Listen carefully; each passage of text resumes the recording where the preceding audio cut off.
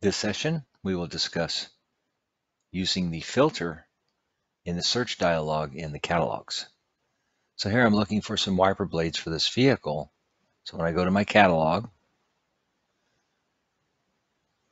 the filter box in the past has only filtered in this description column.